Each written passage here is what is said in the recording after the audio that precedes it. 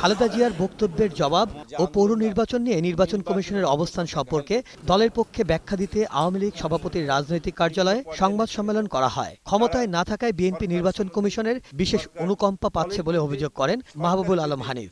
বিএনপির বিভিন্ন পর্যায়ের নেতৃবৃন্দ, তারা সরকার সম্বন্ধে, সরকার দলের বিরুদ্ধে মিথ্যা কথা বলে বিভ্রান্তি করার চেষ্টা করছে এবং অনেক ক্ষেত্রেই তাদের বক্তব্য এবং আচরণ নির্বাচন আচরণ বিধি ভঙ্গের সামিল হচ্ছে।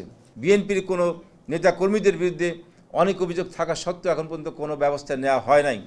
আমরা অনুরোধ করব নির্বাচন কমিশনকে নির্বাচন কমিশন যেন সকলের প্রতি সমান আচরণ করেন। প্রধানমন্ত্রী শেখ হাসিনা সম্পর্কে খালেদা জিয়ার বক্তব্যকে অশালীন অধ্যত্ব বলে মন্তব্য করেন আওয়ামী লীগের এই নেতা। বেগম খালেদা জিয়া মাননীয় প্রধানমন্ত্রী জনতা শেখ হাসিনার সম্পর্কে ব্যক্তিগতভাবে আক্রমণ করে অশালীন ভাষায় তার বিরুদ্ধে কথা বলেছেন। আমার মনে হয় যে কোনো সভ্য সমাজে রাজনীতির শীর্ষ পর্যায় থেকে সাবেক প্রধানমন্ত্রী হিসেবে বা একজন রাজনৈতিক দলের প্রধান হিসাবে এই ধরনের নোংরা ভাষা এটা একমাত্র খালেদার মুখেই মানায়। সব দলের প্রতি সমান আচরণ করে নির্বাচনী লেভেল প্লেইং ফিল্ড তৈরির আহ্বানও জানান তিনি।